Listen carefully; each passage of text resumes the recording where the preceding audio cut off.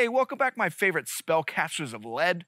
I got another IR illuminator to test for you to see if it's actually worth your money. This one's interesting as it's not really riding that budget train like we've seen a bunch of other illuminators lately, and it could be a newer and smarter alternative to the, the brick that is the DBAL D2.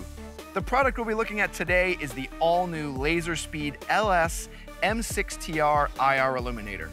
I'll tell you that there are some super smart things going on here that make the price a little bit less painful, but there are some aftermarket upgrades that I would really need to have in order for it to take my number one spot. And I'll say it's kind of funny because this unit is so bright. I think those YouTubers that are out there chasing like the brightest possible unit are probably gonna realize at this point that too bright is actually a thing. I'll show you, but first, let's take a moment, thank today's sponsor. Today's video is sponsored in part by OpticSwap. In a world of shady dealings on marketplaces where you just get ripped off, OpticSwap provides you a safe and secure site to buy, sell, and trade your high-end thermals, optics, and night vision.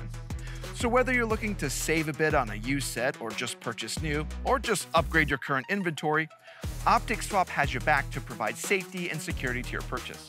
So if you're looking to expand or trade out some of your high-end goodies without some turd on Facebook stealing all your money, make sure to check out OpticSwap to do it in a safe and secure way. Big thanks to OpticSwap for supporting this video, for supporting our whole firearms community, and for all the things they do for TLD. Now though, next, we have to talk about my biases. Now, Laserspeed did provide me this unit for testing, and I don't really know them, nor have I worked with them, so I wouldn't really say I have any biases. I think by the time you're seeing this, there may even be a discount code. I don't know. If there is one, I'll put it somewhere over here and down in the description also. Regardless of that, and even though people get super butthurt in the comments, everything I say is just my own opinion. Nothing I say or any other YouTuber says should be taken as gospel. Make sure to do your own research so you are the most educated consumer possible. 4MR Ranch also did a great video on this M6TR that shows some long-term zero testing along with some issues he had along the way. We do the same tests for every product and every illuminator along the way, so I can't really taint it in any way, and the results are gonna be what the results are gonna be. So I don't even know how I would skew this if I wanted to. And as I mentioned in the beginning of this video, this is a unit where you actually get things so bright, it's almost unusable. I think a unit like this, like I kind of joke about it, is really gonna trip up those IR Illuminator YouTube reviewers that seem to wanna have an IR Illuminator that goes out to like 2,000 yards for their 100 yards of effective range. I don't know how you're expected to account for bullet drop with a huge bloom all over everything. I don't know. Whatever. It, it probably looks really good on their Excel spreadsheet they planned it all out on, though. I think some of those reviews are just they're just a little bit silly, but I'll show you how nuts this illuminator gets and you can determine if it's usable or not. But first, let's get it on the bench. Let me show you all the details about it. So here is the Laserspeed LS M6TR. I'm not gonna say that much more, it's a bit of a mouthful. But the housing is fully aluminum with this matte black finish to give you a lightweight but sturdy unit. Let's dive in and first we see the activation push button on the top of the unit. The push button is nice and tactile to the touch to know you're in the correct position in the dark, but there are a few issues with this top button right off the bat. Number one, the button itself is kind of mushy and hard to actually activate. It works and it's fine, but I did find during a lot of my testing that it would flicker or just not stay on when I was trying to just hold this fire button down. It was easy to get around because you can just double tap this to get a constant on, but is it the best Fire button on the market? No. The second issue I found is the illuminator is fairly high. So the fire button on the top would have my thumb occluding most of the view, even with higher 1.93 mounts, meaning you'd need to be at least 2.2 to get over your own hand. But then at that height, you'd likely use some sort of mount and the touchpad, so the practicality of you actually using this fire button is, is pretty low this behemoth of a touchpad also actually has one functional button. Also, I'll, I'll show you that when we get to controls. Now, one part that is awesome is the elevation and windage on the side of the unit. Here we see a slotted design that doesn't need any specialty tools, so you can use a flathead, but really a coin just works fine. After doing so much night vision stuff and so many different illuminator reviews, it's baffling how many of these illuminators require some sort of tiny special tool I swear most of these companies never even bother to use their own products because a lot of times you have to go and do these small adjustments with these specialty tools in the dark, like these tiny screws that need specialty tools with no clicks at all on the designate IRV can be insanely frustrating. That's like a $2,000 unit too, but okay, but the fire button on that one is actually awesome. The Laserspeed also has almost no slot between the elevation and windage settings, giving you a tactile and audible sound as it adjusts 0.25 mils on each click. This part is amazing because it seems like they've just stomped some high-end units with some total ass elevation and windage, and I'm really liking what they're doing here. Moving to the front of the unit, we see a battery compartment for a standard CR123. With the compartment facing forward, it also makes for easy battery changes without removing the unit.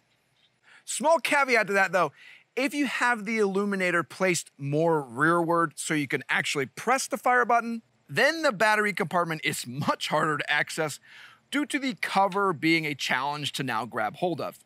Plus, you can't see anything when pressing that button anyway, so just, just push it back forward. To the side of our battery compartment, we have our cover of our laser and illuminator. The cover is moved over to the side for operation, but also has a plug installed for illuminator operation only if you want to leave it on and take out the plug. I don't know exactly why you'd want to look at things but not aim at them. I'd want to have the opening over the laser and not the illuminator, but hey, but hey, I, I'm not a level 100 wizard, so maybe I don't know. Now, something unique here is that we see our IR laser, Viz laser, and illuminator all slave together as one unit. So your elevation and windage adjusts all three. Now, I was a bit skeptical of this because I've seen some PEQ 15s that are wildly off, that have like the IR laser here and the illuminator's like off on another planet. But in my testing, I saw these were co-aligned so insanely well that you can actually narrow down the illuminator beam to make the laser and the illuminator basically one, and I found this to be really impressive. I never really found out what that feature would be useful for outside of showing me it has good alignment, so yeah, the alignment's good. Now, one thing to note is that the Viz laser is going to be slightly off from the IR laser, obviously, because they're they're not in the exact same space because it can't be inside of one another. So your Viz laser is going to be off your IR. I just do an infinite zero by looking through the optic with nods on and use the IR laser when I configure my setups. I think the infinite zero is stupid easy, but whatever you do, just make sure to be consistent across all your illuminators and all your setups so that you have the same offset on every platform. Moving to the rear, we see a slot for our crane plug, and there is actually an included tape switch I mentioned earlier that comes with a unit that you can connect in here. Okay, is the tape switch awesome? No. Is it better than the top fire button? yes. The Switch has this super sloppy top and bottom area of the main button that just feels like a, I don't know, empty plastic sock. The middle section has the actual switch and at least halfway works. Thankfully though, as we move up, we have this small tactile button that actually works great. So I'd only use this and ignore the other 90% of this push button. Both buttons also have the same functionality, so it doesn't matter which one you use either. Why have two different buttons that do exactly the same thing? That's a fantastic question. Like, really, why not make one of them like constant and one of them momentary? Whatever. No, they don't do that. You can connect the tape switch with the included Picatinny mount or use the included hardware to use M-LOK along the sides, or even just tape the switch down with the included hook and loop if the handguard doesn't have either of those options. So there are a lot of different ways to connect this up, but it's super large and really, really not all that great. So if I went this route, I would have to prioritize a different switch because yeah, this is just, this is huge and mostly unusable. Moving to controls, we have a dial to change the different modes. And unlike some of the far more expensive offerings, the dial is actually large enough to easily use. I gotta stop myself because I spent some time training with this right before I finished recording this, and small caveat again.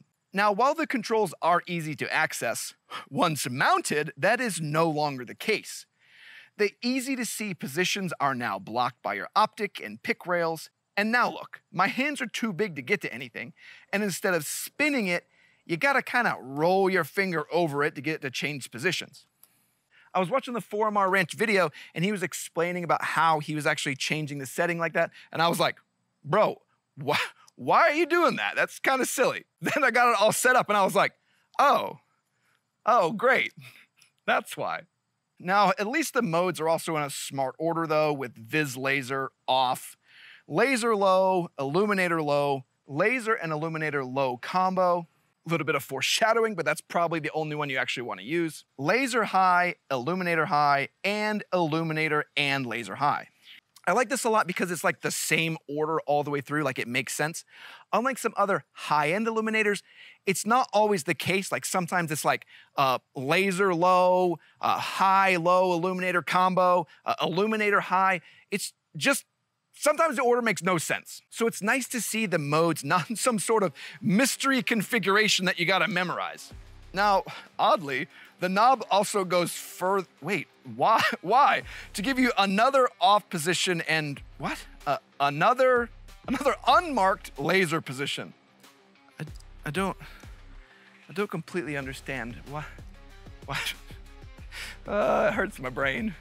Just, I guess just know that if you turn the knob all the way off by like rolling your finger over it as we mentioned, it's actually on in an unmarked Viz laser position, which now I'm realizing is actually a bigger problem because it also turns on the LED, which also drains your battery. So ultimately then just make sure visually that it's in an off position when you're done with it or or just pull the battery. You know what? No, it's better practice. Just just always take the battery out when you're done. Ignore everything else I said. For mounting, we see an actual shocker here. Someone who seems like they know what they're doing.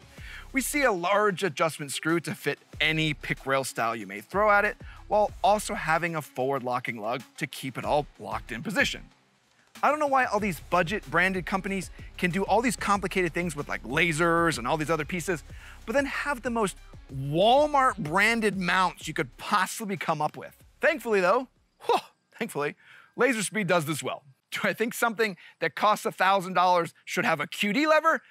Well, well, yes, I do. Hilarious though, I'm giving this illuminator a lot of grief, but I really do like it. Let's get into the meat and potatoes of this illuminator though, and actually go into the, the performance and see everything. And you're gonna see all the different pieces that kind of make that whole control knob, just makes you, just makes you forget about it. For the first bit, I'll show you the Viz laser, even though I think it's the most useless. Again, as we noted for controls, you can press any button once for momentary or press any button twice for constant. Here is the low power mode of the Viz laser if you want to see its performance at night, which I have no idea why you would want to do that. Now there is a high power Viz mode that I couldn't figure out forever even reading the instructions until I watched the 4MR Ranch video. You gotta click it twice so it's constant on, then click three times to have the laser in high power. On the high power setting, it's just bonkers and everyone in town is probably wondering which rock show is in town. Here, let's just go to daytime where, yeah, even the most insane of power settings is still not really all that useful. I'm telling you guys, Infinite Zero with your nods, with the IR laser, it is, it is the cheat code. Now for our next setting, we have our low power IR laser. This I actually like a ton. You have a laser mode you can actually aim at things without it giving you an insane obnoxious bloom.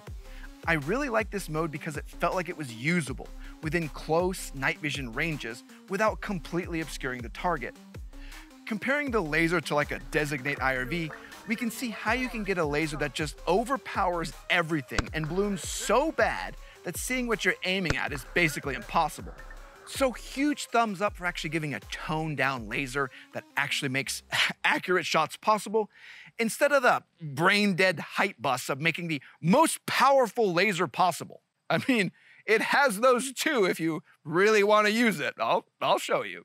Let me show you the illuminator settings and I'll show you the high power that seem mostly useless, but some YouTube fart is gonna tell you that that's exactly what I'm looking for. Now we'll just click over our control, just, we'll just click, we'll just, we'll just roll this thing over. Now, here we move into the low power IR illuminator.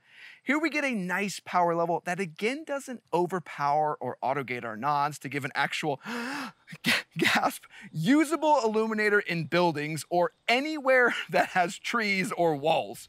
You know, that's another dumb thing we see a lot too. These super, super, super high power illuminators and lasers, all shown in wide open fields. Turn one of those guys on with like trees in the way, you know, like in reality, and you start to see the stark difference between a real situation and YouTube marketing. Well, I guess I'll kind of admit it, I am I am a little bit ranty today. Oh, now I think I skipped over this knob, but this is actually our IR illuminator focusing knob. Here we can adjust the size of the illuminator to be a nice flashlight size or tone it all the way down to be the same size as the laser itself to give free LASIK to our foes, I guess. This makes it really nice to hone the light to see a target further out, but I'm struggling to understand why, as we're now outside of where the laser is even zeroed. In reality, the widest setting isn't wide enough and I would really like a spill setting to be able to see more items in closer range. In reality, I don't need my illuminator to be laser sized. I have a laser for that. It would be a lot more useful if the illuminator could widen out a whole lot further. Now, Villain Weapon Systems does some amazing things like this diffuser I put on my DBAL D2 that give you a different cap to go from spill to focused beam just by moving the cap to the side. Here, I put the same cap over the Laserspeed to see how it gives you that same focus beam and then also flood the entire area instead of just a small circle flashlight you're trying to use to scan all over the place. As mentioned at the start of the video, I think this diffuser is what I would really need to put the Laserspeed in like a number one or like top two spot for me. So hopefully Villain Weapon Systems can put something together to add some cool spill functionality to the setup. Oh, and a tape switch. I'd use a different one of those also. Clicking over our control knob setting again, right? Is this right? There we go. Uh, we're next in the low power IR illuminator and laser combo. I found I really liked this setting because it seemed powerful yet balanced. The laser is visible and easy to see within the illumination while also not being too overpowered to bloom all over the place. I found this setting and the low power laser were my favorite setting as they just didn't blow out my entire field of view. It's kind of hard to explain without seeing it, but having so much illumination that your nods autogate and you dim everything else, it's just, it's just kind of stupid. Plus, you lose any sort of situational awareness because you're just getting absolutely blind without all that illumination and losing all of your peripheral night vision.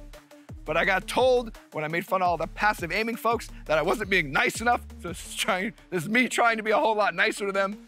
But if you have full on brain damage or you're a YouTube reviewer of illuminators, just know this thing can go absolutely crazy just for you. Let's do the high power settings. Here I clicked us into the high power IR laser. Good God. This defines exactly what I don't recommend. The laser can go out about 2,000 yards, sure, but it's so insanely bright that it's blooming off objects still at six or 700 yards, making your holdover almost impossible to judge. And you can just throw any sort of accuracy besides just keep shooting uh, into the toilet. Like some guys have a parallel zero, and what that does is it basically lines up the barrel and the laser so they have the same offset no matter the distance. Let's say for this example, uh, I don't know, like one inch to the right off the reticle. Now look at this image. How in the world are you gonna see one inch to the right with this? It's, it's very silly. I question uh, very heavily anyone who's doing reviews and saying that's what you want, and I highly recommend you question them also.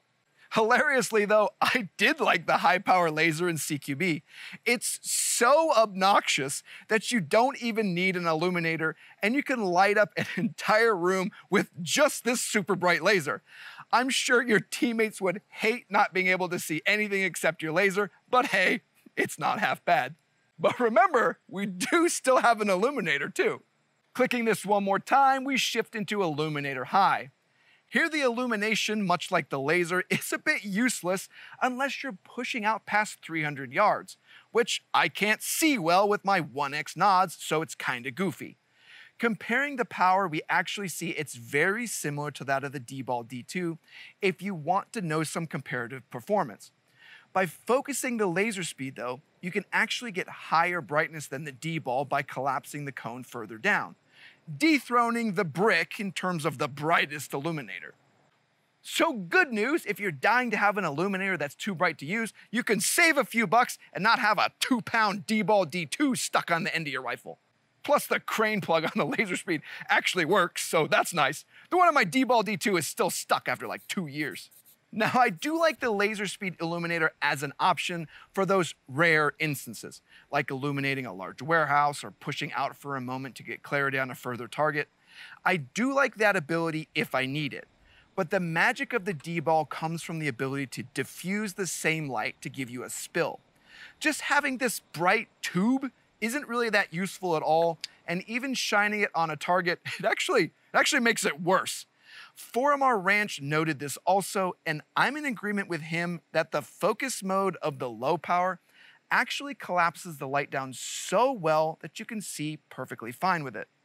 Now, though, there is one more setting that's actually designed to make our YouTube uh, Excel min-maxer commenters happy, and that's the dual laser illuminator high.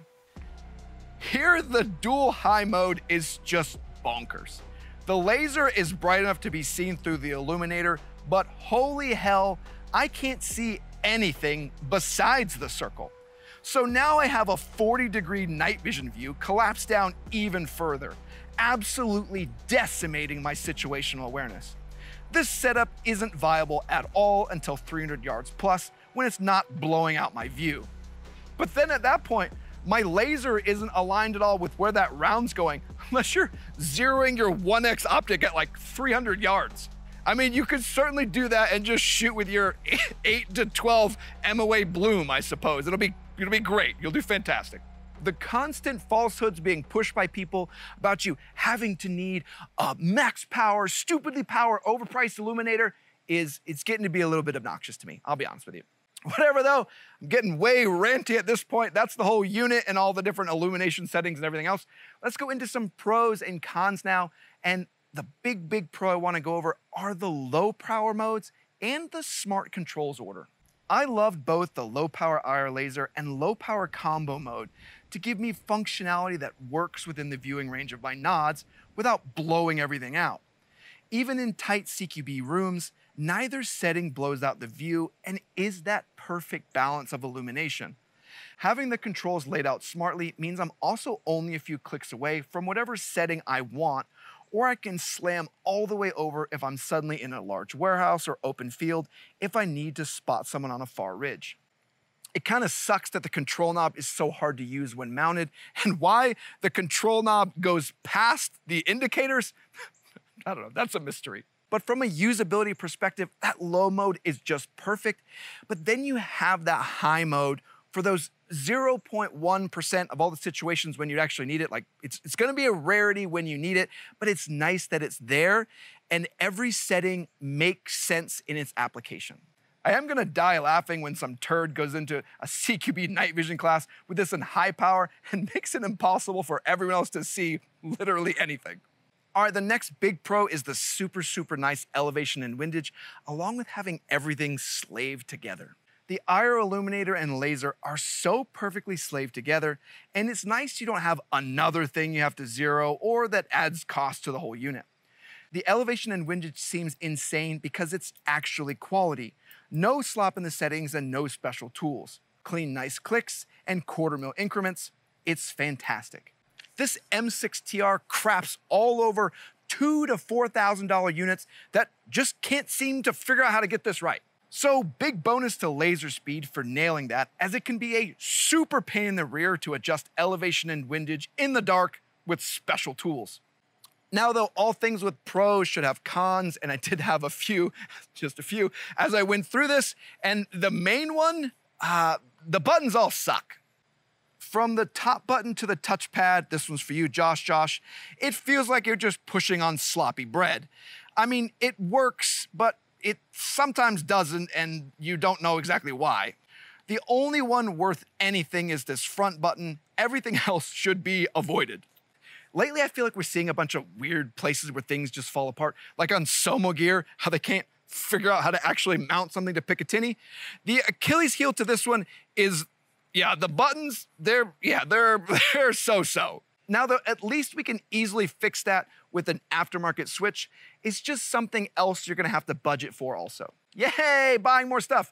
Now, the other con I mentioned is how this thing is just dying for a illuminator spill diffuser. Having the illuminator only get this wide means it's missing some key functionality you can add into other modern illuminators. Having that focus beam, then a splash setting would just be amazing. Again, I bet Villain Weapon Systems will save us, but one more time, you gotta budget for yet another thing to make this illuminator truly viable. Okay, in its defense, you do also have the budget for that in the DBAL D2, so okay, I guess it's kind of a wash there. The last con is a silly one, but I hate it. There's an LED that turns on if you have it in any setting besides off. The LED is always on, even if the unit isn't, like I'm not pressing a fire button, but it's also so dim, I can't tell if it's on. It doesn't tell me if I left the IR on, just that I'm in a setting where it could be on, and it's constantly draining the battery. It's just a big head scratcher as to why it's there, and it's certainly not very helpful. I mean, it does get you in a good habit of taking out your battery, which is probably what you should do anyway. Interestingly, the, the, hidden settings past the dial is actually the Viz laser mode, like I mentioned. So yeah, the LED would stay on if you're in the secret modes. So yeah, there's a lot of really, really good things going on here in terms of performance and in terms of weight and everything else. But there's also a whole bunch of head scratchers. So, so what are my final thoughts?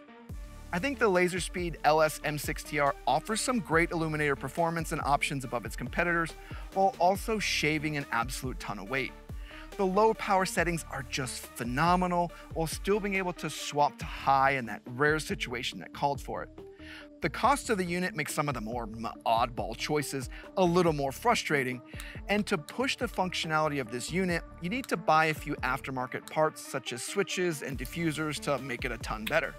So for me, it's a, yeah, I really like it, but the but being all the extra pieces you have to buy, some of them that don't actually exist yet.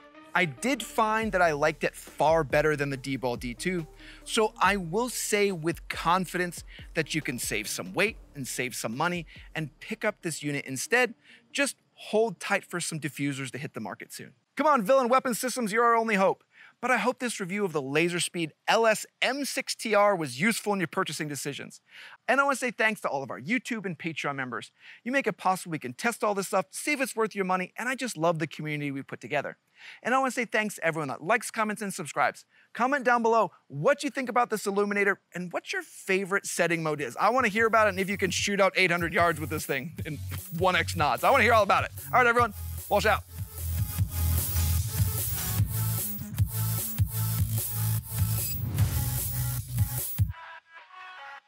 Wife watches these videos sometimes, and I think she's gonna tell me that was a little bit ranty this time around. But yeah, good unit. I did I did like Laserspeed. It was cool that we got to test it out.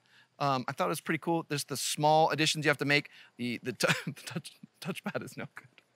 This little guy's good. I just hate having this huge amount of everything else just for this one small button I want to use. I don't I don't love that. And and up here, like this is just right in my view. This doesn't make any sense. I can all, all I see is my thumb. So it's just it's just kind of weird. Yeah, getting to work on the next stuff. So you guys have a good one. you gotta go. There's no there's no cool there's no cool gun shooting or things at the end of this one. no, I promise. There's literally like all you have waiting for you is another airplane coming overhead. So if you hang out, you can just go. Just turn just turn it off. There's no point in waiting for this. Like it's coming. This is what we have all day long. Uh, it's like welcome, welcome to my life. Try to record with that every minute or two. Okay, gotta go.